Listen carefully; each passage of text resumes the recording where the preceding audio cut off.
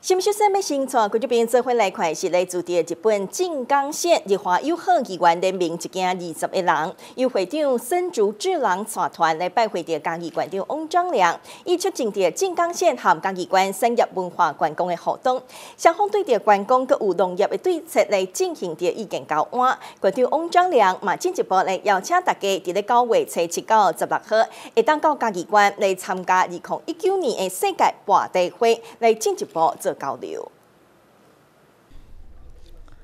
馆长吴章良表示，过去台湾农业以小农为主，农业规模将近百分之八十无达到一公顷，经作规模小而且零散。经营上也欠缺效益，管理工作也比较较无注重。另外，农民平均年龄将近六十五岁，高龄化也致使劳力老化迅速。若是有少年人想要从事农业，也限于无农地会当经营的处境。因此，政府正推动小地主大佃农的政策，鼓励无耕作，也则是无用耕作的农民，将自有的农地出租，并且鼓励青农，也则是农民团体承租，种植具有进口替代，也这是出口扩张的农作物，就以促进农业劳力年轻化，并且扩大农业经营规模。市长之前，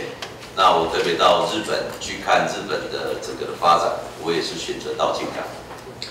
え当選果たすまでは、えその勉強のために、え 選んだところは、え静岡県にに行って勉強してきました。那在呃，其中有个晚上，呃，静冈的呃这个相关的一些企业界，那包括铁路呃的一些呃单位啊，大概也给我弄一个翻译页，到现在我还是印象非常深刻啊，包括伊豆。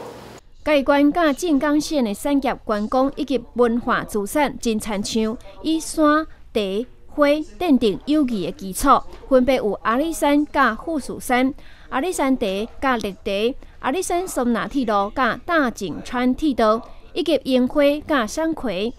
生竹次郎也表示，未来希望两关会当伫茶山以及山葵会当做出经济而且良好的互动以及销售合适。新新闻，朱立新嘉义县采访报道。